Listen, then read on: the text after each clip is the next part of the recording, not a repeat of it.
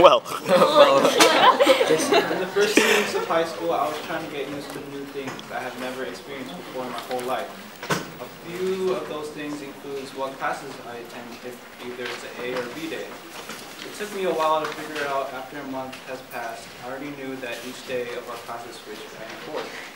Then our lockers were, were such a pain at first after I knew how to open it.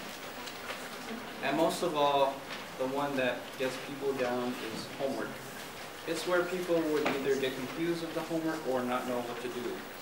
And having the time management where you have to keep track of how long you have to do your homework, when to turn it in, having the urge to stay focused and working on the long essay.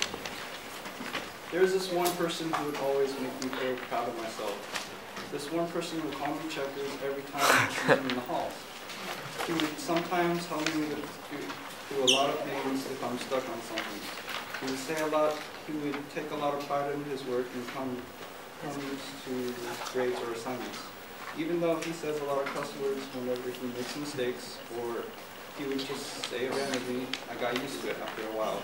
People call him Jackie Tran, but I call him Jackie Tran.